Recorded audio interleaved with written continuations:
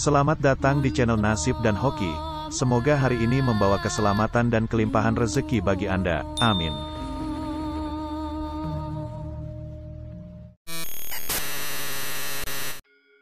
Assalamualaikum, salam sejahtera, Om Swastiastu, Rahayu, Rahayu, Rahayu. Pada video ini, channel Nasib dan Hoki akan mengajak panjenengan semua untuk memahami lebih dalam lagi mengenai rahasia watak manusia berdasarkan hari lahirnya, yaitu rahasia kelahiran hari Minggu, Senin, Selasa, Rabu, Kamis, Jumat, dan Sabtu. Tahukah panjenengan bahwa kepribadian yang terbentuk di dalam diri panjenengan dipengaruhi oleh banyak faktor, salah satunya adalah hari di mana panjenengan lahir. Bahkan menurut kebudayaan Jawa, hari kelahiran atau weton seseorang sangatlah sakral, sehingga setiap siklus 35 hari sekali, mereka akan mengadakan suatu ritual penghormatan atau selamatan tertentu sebagai rasa ucapan syukur. Namun sayangnya, hal ini sudah jarang dilakukan. Berikut ini akan kita ulas mengenai masing-masing watak dan karakter seseorang berdasarkan hari kelahirannya, di mana yang pertama adalah rahasia kelahiran hari Minggu. Menurut kepercayaan nenek moyang, panjenengan yang dilahirkan pada hari Minggu, adalah orang yang dinaungi oleh suatu energi besar dari Dewa Surya. Dewa Surya merupakan raja atau pusat dari semua planet yang ada di tata surya yang juga biasa kita sebut dengan matahari. Akibat dari pengaruh energi matahari yang besar ini, membuat watak kelahiran hari Minggu sebagai pribadi yang selalu ingin melebihi orang lain dalam segala hal. Oleh sebab itu, Wajar saja jika panjenengan kelahiran minggu adalah orang yang selalu ingin bersaing dalam hal apa pun, tentunya dalam konteks yang positif. Rahasia kelahiran hari Minggu yang tidak banyak orang tahu adalah bahwa panjenengan memiliki potensi sebagai pemimpin yang mumpuni. Panjenengan terlahir dengan kemampuan untuk bisa mengatur suatu kinerja tim, meskipun tim tersebut terdiri dari kumpulan orang yang banyak. Panjenengan kelahiran hari Minggu, biasanya juga merupakan orang yang memiliki karisma dan wibawa cukup besar. Panjenengan adalah orang yang sangat percaya diri, bahkan banyak orang yang segan ketika harus berhadapan dengan panjenengan. Akan tetapi, naungan energi dari Sang Raja Tata Surya ini juga kerap kali memunculkan sifat yang kurang baik. Sebagai contoh, panjenengan memiliki keinginan untuk bisa mengendalikan dan menguasai permainan. Selain itu, panjenengan juga kurang bisa memahami permasalahan orang lain. Naungan energi matahari yang panas, ternyata juga berdampak pada kondisi emosional kelahiran minggu. Mereka termasuk orang yang gampang marah, bahkan akan sulit diredam ketika sudah meledak. Berikutnya yang kedua, adalah rahasia kelahiran hari Senin. Panjenengan yang memiliki hari kelahiran Senin ada di bawah pengaruh dari pancaran energi bulan. Oleh sebab itulah panjenengan merupakan golongan orang yang bisa menenangkan diri sendiri di hampir setiap keadaan. Panjenengan harus tahu, bahwa rahasia kelahiran hari Senin yang utama adalah mereka memiliki suatu gift untuk selalu bisa disukai oleh orang lain. Panjenengan kelahiran Senin memiliki aura penakluk dan pemikat dari Sang Dewi Rembulan. Energi feminim dari bulan akan mempengaruhi kelahiran Senin dalam hal perasaan. Watak kelahiran hari Senin kebanyakan adalah sosok yang lemah lembut, mereka akan lebih merasa nyaman jika berteman atau mengobrol dengan kaum perempuan. Oleh sebab itu, kasih sayang anak kelahiran Senin akan lebih dominan kepada ibunya daripada ayahnya. Watak kelahiran hari Senin juga bukanlah orang yang selalu mencari kontroversi di dalam hidupnya, mereka adalah orang yang mendambakan hidup tenang penuh dengan kedamaian. Selain itu, kelahiran ini juga adalah orang yang tulus dan penuh dengan welas asih. Seperti dua sisi mata uang, kelahiran Senin tentunya juga memiliki kekurangan. Layaknya bulan yang selalu berganti mengikuti fasenya, kelahiran Senin juga memiliki mood dan pendirian yang suka berubah-ubah. Hal ini terkadang akan merepotkan dirinya sendiri dan tentunya juga orang lain. Kelahiran hari Senin, juga bukan seorang yang pemberani dalam mengambil suatu sikap dan keputusan yang memiliki resiko besar. Mereka lebih suka menghindari masalah dan bermain aman. Selanjutnya urutan yang ketiga, yaitu rahasia kelahiran hari Selasa. Panjenengan yang memiliki hari kelahiran Selasa adalah orang yang paling banyak mendapat pengaruh energi dari planet Mars. Planet yang berwarna merah ini memiliki energi yang agresif. Planet Mars dikenal sebagai panglimanya tata surya. Rahasia kelahiran hari Selasa juga tidak terlepas dari sifat energi planet Mars yang agresif tersebut. Energi yang agresif ini membentuk panjenengan kelahiran Selasa sebagai orang yang memiliki kehendak dan keteguhan hati yang kuat. Sekali kelahiran Selasa menetapkan langkah, maka dia akan mengerahkan segala daya upaya untuk mewujudkan dan mencapai tujuannya. Bahkan, mereka tidak berpikir ulang untuk mengambil langkah ekstrim agar impiannya tersebut bisa terwujud.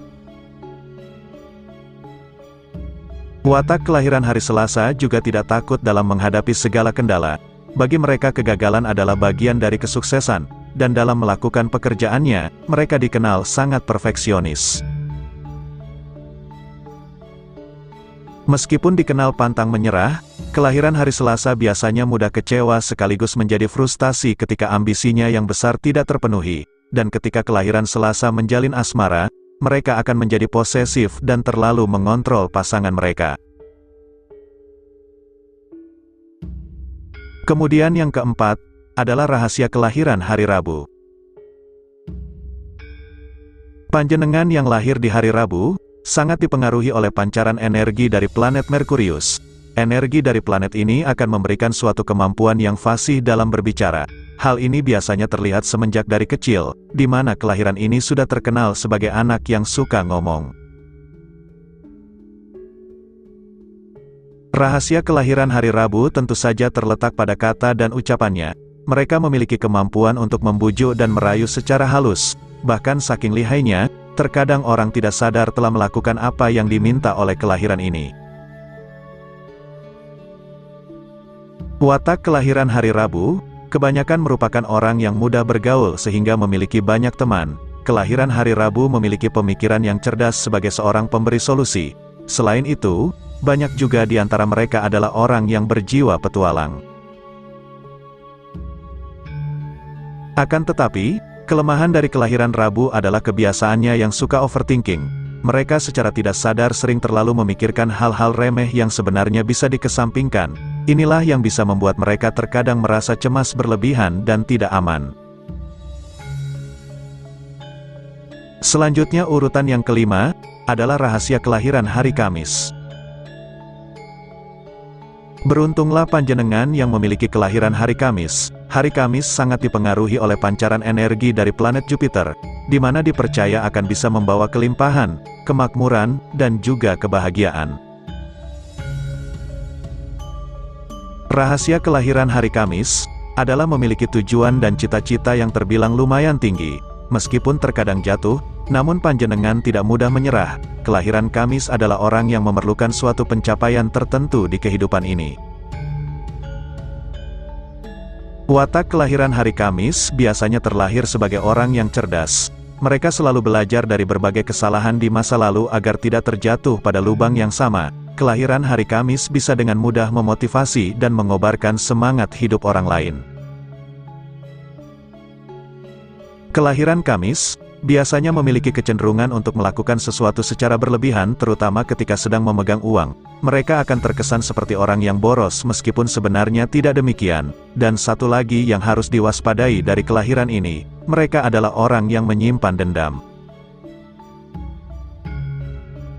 Kemudian urutan yang keenam, yaitu rahasia kelahiran hari Jumat.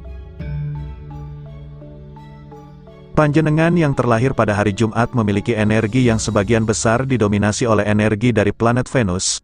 Planet yang satu ini merupakan lambang dari kecantikan dan kemewahan. Panjenengan wajib tahu bahwa rahasia kelahiran hari Jumat terletak pada daya pesonanya yang luar biasa. Meskipun dari luar mungkin terlihat biasa-biasa saja, namun tidak sedikit orang yang terpikat dengan kepribadiannya. Watak kelahiran hari Jumat termasuk pribadi yang hangat. Sosok ini juga memiliki rasa simpati dan empati yang tinggi sehingga bisa menjadi pendengar atau tempat curhat yang baik. Kelahiran hari Jumat juga memiliki kebijaksanaan dalam memberikan saran dan nasihat kepada orang lain. Hal itu dikarenakan kelahiran ini mampu melihat suatu persoalan dengan porsi yang berimbang. Adapun kelemahan dari kelahiran hari Jumat adalah mereka terkadang suka terlalu sensitif.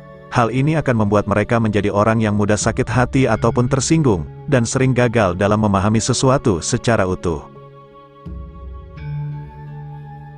Yang terakhir urutan ketujuh, yaitu adalah rahasia kelahiran hari Sabtu.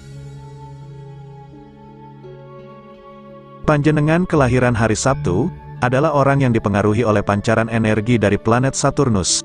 Planet bercincin ini sering dihubungkan dengan umur panjang, stabilitas hidup, dan juga keadilan.